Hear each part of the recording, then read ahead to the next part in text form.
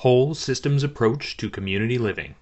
One Community Weekly Progress Update number 204. One Community is a 501c3 nonprofit organization. We are creating open source and free shared blueprints and resources, tools and tutorials, and do it yourself instructions for highest good living. Creating solution models that create additional solution creating models in the service of all life on this planet. This includes highest good approaches to food, energy, housing, education, for profit and non profit business creation, society, and true earth stewardship. We are creating all these things to be implementable as either individual components or as complete teacher demonstration villages and hubs. Welcome to the One Community Weekly Progress Update. My name is Jay Sable, and I'm Executive Director of the One Community 501c3 nonprofit organization. This is our weekly progress update number 204, February 19th, 2017 edition. As always, I'm going to be covering one week of our team's progress and accomplishments with pictures and video. And if you'd like to see more details, more specifics, links to all the open source content, you can visit our written blog. Also, if you'd like to receive an email every time one of these updates comes out, you can send an email to onecommunityupdates at gmail.com and we'll add you to our newsletter list. Or you can subscribe to our YouTube channel or follow us on social media and follow our, follow our updates that way and manage your updates that way. With that said, let's jump into the updates. One community's approach to highest good education is open source and free shared, designed for all age groups, adaptable to any schooling environment, inspiring and fun for all participants, a learner teacher collaborative, and it includes U.S. Common Core standards. This week, the core team, which includes the pioneer members plus those helping who don't wish to be individually acknowledged, transferred all of the written content for the reality lesson plan to the website, as you see here. This lesson plan is purposed to teach all subjects to all learning levels in any learning environment using the central theme of reality. Behind the scenes, we completed 100% of the written part of the Fulfilled Living lesson plan. We also completed the second 50% of the mind map for the sharing lesson plan, bringing it to 100% complete, which you see here. In addition, the core team continued creation of renders for the Ultimate Classroom. We finished rendering updates for the Indigo Room and started adding missing items and updating textures for the Red Room. Last but not least, Sangam Stanzak, PhD in PE, joined the team and completed cost analysis and hours of additional research for the Learning Tools and Toys component. You can see screenshots of all this behind the scenes work here. One community's approach to highest good food is duplicable almost anywhere, scalable for different needs, more biodiverse and nutritious, part of forwarding a global open source botanical garden collaborative, and includes nine different free shared and duplicable growing environments. This week in Highest Good Food, Ashwin Patil, web developer, continued with his 18th week developing the new search engines for our site.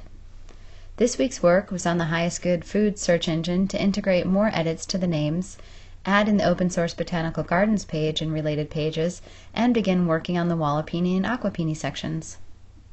The one community approach to highest good housing is eco-artistic home building that is affordable, sustainable, do-it-yourself duplicable, resource and space efficient, and consists of seven different sustainably constructed village models. This week, the core team updated several pages in the Seven Villages online book we also began reviewing where we left off with the DIY Murphy bed construction instructions. Then we completed final edits to the tropical atrium render, now with people doing yoga, and added it to the Earthbag Village and tropical atrium pages. Also, after adding trees and sky, we created this final render of the communal eco shower structure for the Earthbag Village. And this final render of the communal eco shower structure section view. Elena Thompson, mechanical engineer, completed her second week helping with the net zero communal bathroom designs. This week, she researched barrel options and eliminated this option based on space needs, came up with multiple reservoir alternatives, confirmed metal sheeting will work for the roof, and began researching water purification alternatives. Christian Ojeda, mechatronic engineer, completed his third week helping with the heat recycling communal eco shower designs. This week's focus was the design shown here for the central sink piping. Adrienne Gould Choquette, mechanical engineer, also finished her ninth week helping create the standardized AutoCAD layers and line weights template and tutorial. This week's focus was adding pictures and additional edits to create 2.0 of the AutoCAD layers and line weights tutorial as shown here. Fernando Remolina, industrial engineer specializing in project management, continued with his 13th week of managing the vermiculture bathroom development with the 8th week of help from Lin Zhu, mechanical engineering student. This week's focus, as shown here, was on the removable compost receptacle attachments and new approaches to emptying and cleaning. And Dean Schulz, architectural designer, continued helping us create quality Cob Village Pod 3 renders. Here is update 56 of Dean's work, focusing this week on the East Side living spaces. This final render of the West Side living spaces upstairs view, and this final render of the section view of the West Side living spaces looking north. Adding details to Dean's previous work, Guy Grossfeld, graphic designer, added people and nature elements to create these two new views of the Cob Village roof view looking southeast and this roof view looking north. Jiming Chen, designer with his master's in architecture and BA in engineering, also continued helping develop the Treehouse Village Pod 7. What you see here is his 13th week of this work, focusing on applying last week's color choices and test rendering each of the different treehouse structures shown here, also this next generation render of the complete village. Hamilton Matika, AutoCAD and Revit drafter and designer, also finished his 31st week helping with the compressed earth block village Pod 4 design details. This week's focus was more updates to the kitchen textures and design testing more lighting strategies for the living spaces. Aparna Tandon, architect, additionally continued her work on the compressed earth block village external elements. What you see here is her 16th week of work, focusing on updating layers to match the new template and continued development of the details in front of the east wing and inside the left wing, as shown here. One Community is also creating an open source duplicable city center. It is designed to be LEED Platinum certified, provide 12 guest rooms, dining for over 150 people, and laundry and recreation space for over 300 people, all while saving money, time, space, and resources.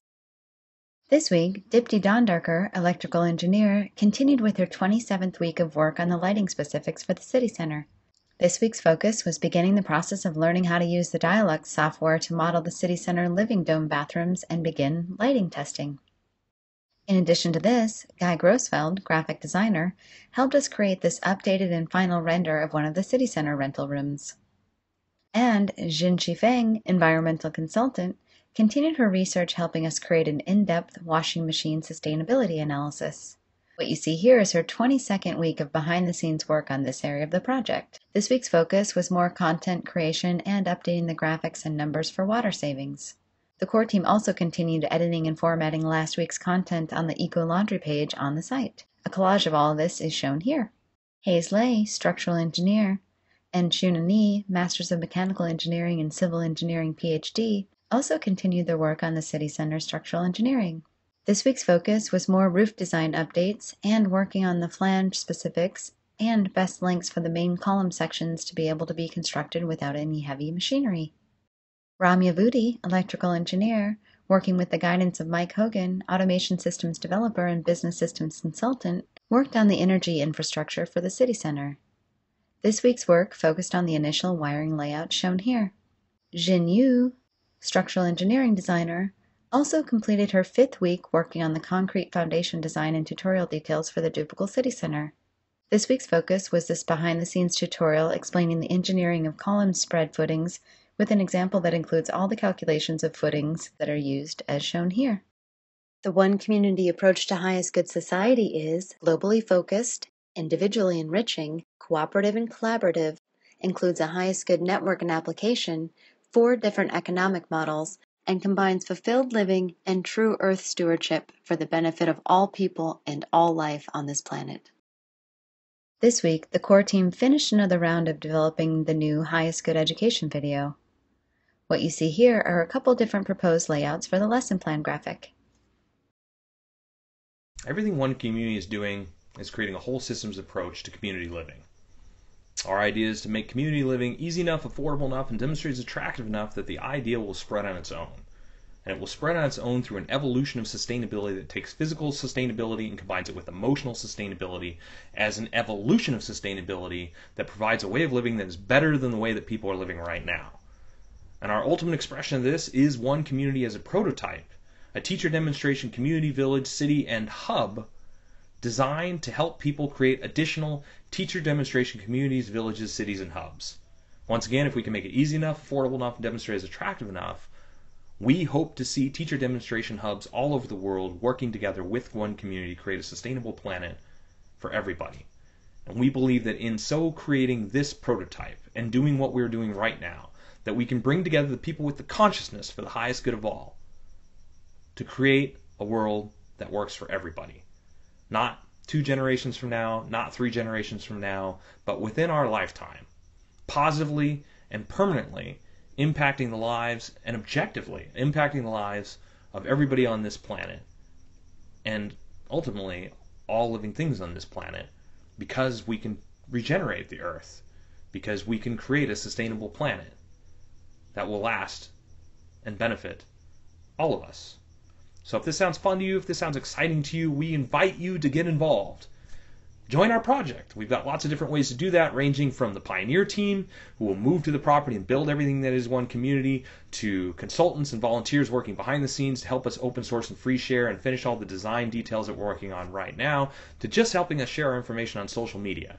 It's one of the easiest ways to help us out, and it really does make a big difference. And we are on all the different social media networks to make it as easy as possible. We are on LinkedIn, we are on Tumblr, we are on Twitter, we are on Reddit, we are on Facebook, Facebook, of course. We are on Pinterest and about 15 others to make it as easy as possible for people to access the information that we're doing and for people to share all the information that we're creating.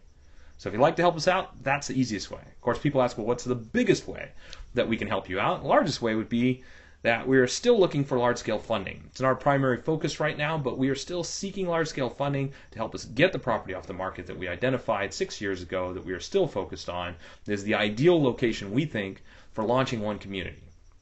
And as an all volunteer uh, nonprofit organization, none of us are paid for what it is that we're doing, but we're still seeking that large scale funding as we continue our primary focus, which is on being shovel ready being ready to build everything as one community, launch it effectively, working on all the details that are necessary, and walking our talk as we open source and free share everything that we're creating right now.